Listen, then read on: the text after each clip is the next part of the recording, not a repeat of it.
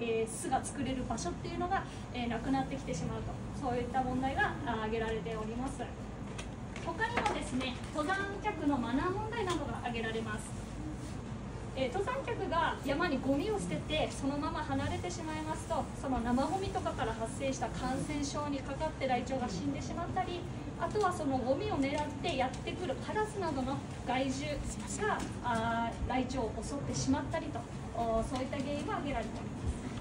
え加えてですね、え、地球温暖化による山岳環境の変化ということで、え、地球がの気温が上がって鉱山が暖かくなってしまいますと、えーイネ科の植物がたくさん生えてきてしまいます。そのイネ科の植物に背の低い高山植物が負けて覆われてしまって住む場所食べるものがライチョウたち見つかりにくくなってしまいます。そういったものの原因として挙げられています。そしてですね、えー、当園那須動物王国では2017年からライチョウたちを守る取り組みを、えー、始めております。ライチョウたち飼育するときはこんな感じで防護服を着なくちゃいけません。防護服を着て、えー、全部全身消毒して、えー、ハットをかぶってこれヒナを飼育している写真なんですけどヒナ1羽1羽をケージに入れてこんな感じで、えー、厳重に、えー、飼育をしなければいけません。ですね日本ライチョウのヒナは1ヶ月の生存率非常に低くてですねとても死亡しやすい動物になります。なので、えー、そういった感染症から身をあ守ってあげるために、えー、こんな感じで、え防疫体制をしっかりしています。今も展示場にあの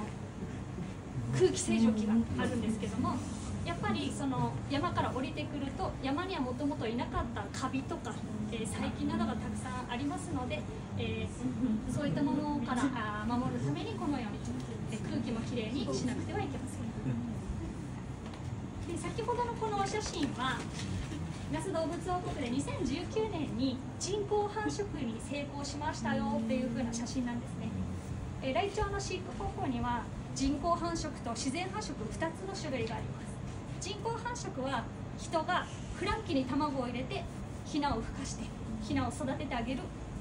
んですけども自然繁殖というのはライチョウ自身に卵を温めさせてヒナをお世話させましょう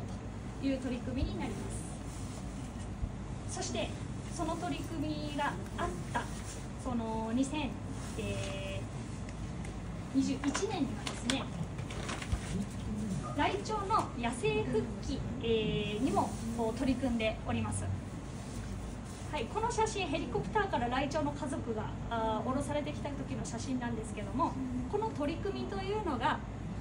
中央アルプスの木曽駒ヶ岳という山からえー、7羽の家族を那須動物王国へ降ろしてきまして、えー、安全な天敵のいない動物園の中で数を増やして中央アルプスに戻そうという取り組みがこの取り組みです。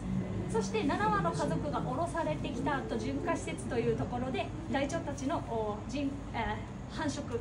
飼育にも取り組みました。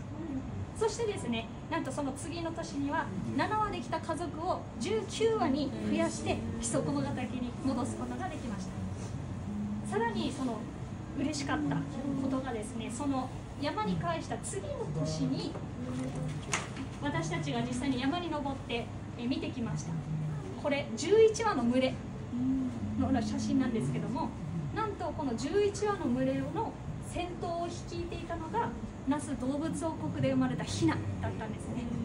ヒナで生まれて山に帰った子がお母さんになって他の群れのヒナも率いて一緒に守って育っていってくれました。非常にねあの感動しましたね。このまま、えー、またねライチョウの未来につながっていけばと私たちも非常に嬉しく思っております。本日ですねライチョウトーク聞いていただいた皆様にもライチョウたちのために一体何が自分にできるのか考えるきっかけとしていただければ私たちもライチョウたちも非常に嬉しく思います、えー、長くなりました。が以上でライチョウトーク終了になります。最後までご覧いただきありがとうございました。